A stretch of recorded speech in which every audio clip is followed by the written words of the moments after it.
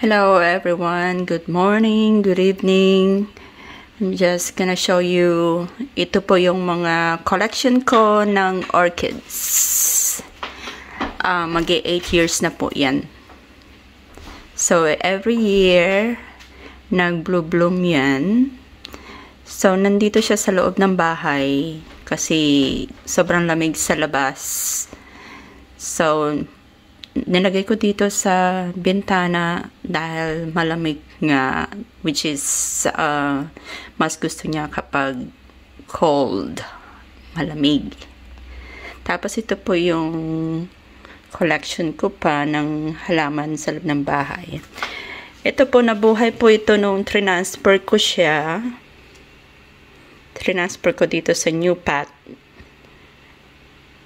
yan po yung ano yung uh, pinagmulan nito. So ngayon, ang dami ko na pong tinanggal dito sa sa original na plants na to. So so far, ayan may bulaklak at nagsasanga-sanga ulit siya. So pwede ko na namang i-transfer sa new ano uh, pads o lalagyanan. Ito yung pangalawa doon sa original na halaman na transfer ko.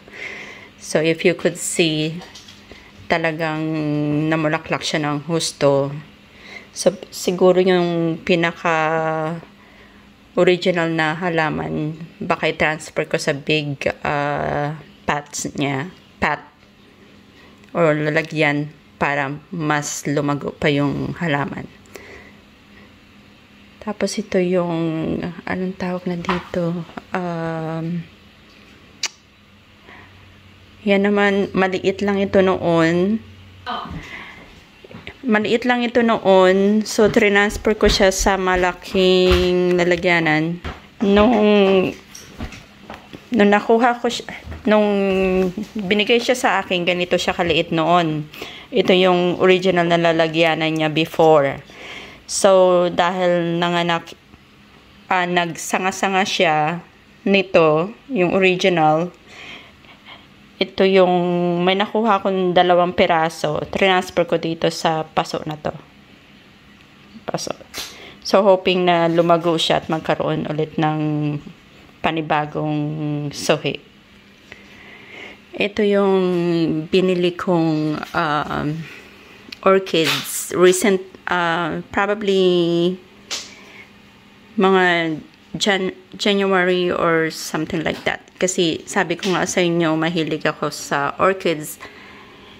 Kaya nung anniversary namin, binilhan ako ng asawa ko kasi sabi kong ganun sa kanya, as possible, I want orchids.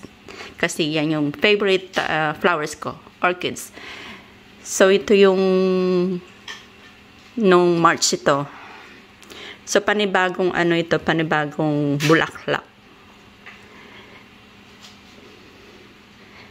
Ito yung ito yung dating may bulaklak. Ngayon, ito na yung bago. Sorry po, yung boses ko. Tapos ito, if you could see, last year po ito, last year. Ayan, last year. May bagong mga buds niya. Ito yung before. Ito yung before. So, may panibagong buds siya. Kaya, yung mga kaibigan ko, ang binibigay nila sa akin, sabi ko, kung bibigyan nyo ako, alam naman nila na orchids ang favorite ko na bulaklak. So, sabi na nga, kaya yung mga kaibigan ko, sinabi ko, orchids naman ang gusto ko. So, gusto ko orchids lang. Sabi kong gano'n. So, ayan. Pero nakikita nyo po ito nung, ano, kapag nag-vlog ako, or nag, um, nag-LS, ito yung nakikita nyo bulaklak. Tunay po yan. So, kadidilig ko lang po. So, weekly ako nagdidilig may vitamins din po.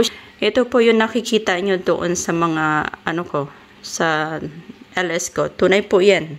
See? Kadidilig ko lang.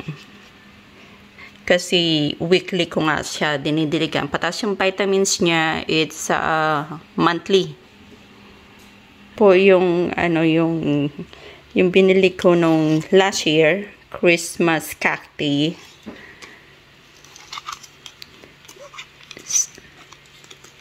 So, nandito rin po siya sa loob ng bahay. So, makikita nyo po, may mga ugat-ugat na siya. Yan. Weekly ko rin po yan dinidiligan. So, so hoping na maparami ko siya. Para, ano, maganda siyang pangregalo sa mga kaibigan or family. Ayan.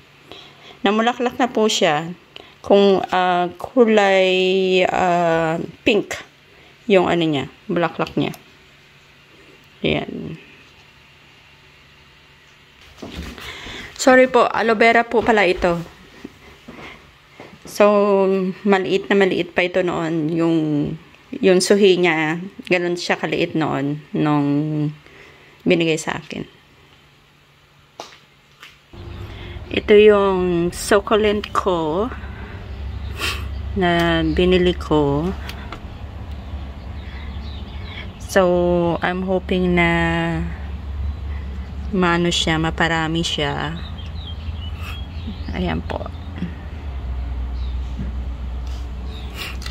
Ayan.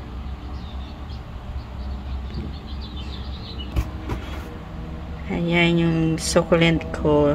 So, bali, nag-ano na siya, nag-suhi-suhi uh, na siya. Pero, hindi pa siya pwedeng tanggalin.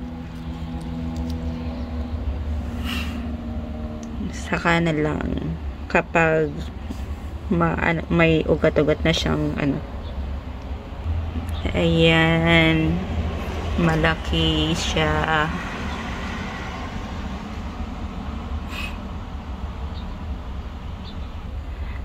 Ayan, tinan nyo po yan. Yung succulent na yan. Diba? Ayan.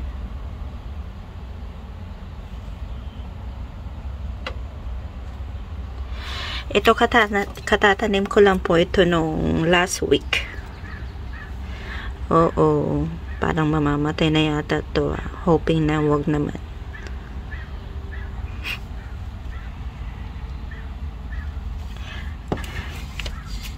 Ayan, katatanim ko lang po yan last week.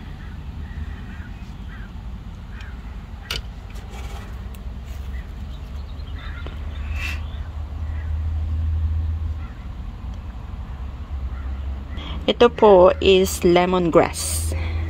So, bali, namili po ako ng, hindi ko po to, ano ha, ako nagpatubo nitong lemongrass na to. So, namili po ako para para ano, panluto ko.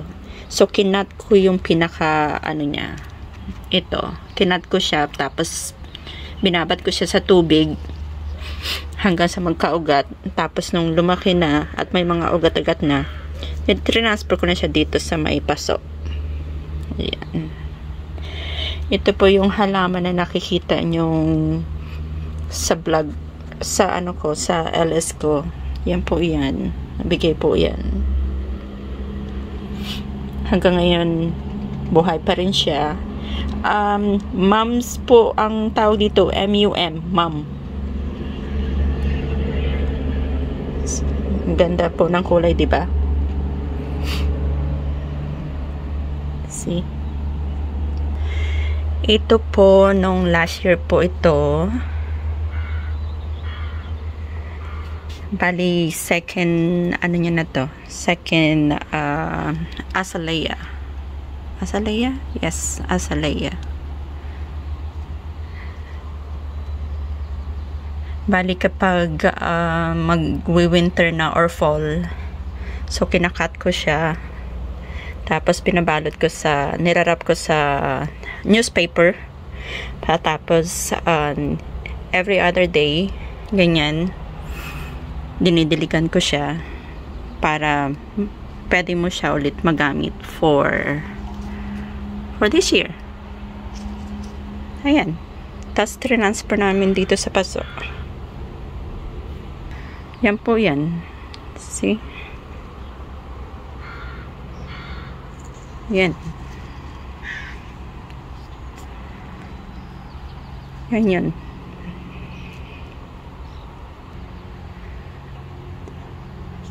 Alam naman po bibili tayo every year ng halaman. Eh, pwede na, um, perennial naman po ito. So, pwedeng itanim ulit the following year. Kaya yun po ang ginagawa ko. So, so tinatanim ko every year. Ayan.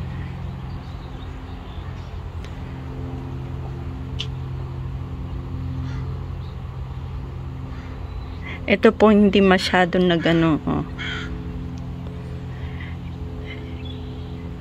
Hindi masyadong nagsanga hoping na dumami pa siya at lumago parang ganito. Ito po, um, hindi ko nakuhanan ng flowers. Bali, nabili ko po ito. Ganito ang bulaklak niya. Purple talaga. Purple. Pero inilabas ko po para kako kahit wala na siyang bulaklak, nandito pa rin siya. So, nilalagyan ko na lang siya ng tubig para mag-stay longer at mabuhay pa. Yan yung mga halam, mga flowers. So, ito, kailangan na siyang ikat Ayan. Ayan. Ayan. Tapos yan yung tinanim ko dyan, transfer ko dyan sa lupa. So, malagong malago na siya which is I like it. Ano po yan? Um, kumakalat siya kaya yan na po yung ano niya. Marami na. 'Di ba?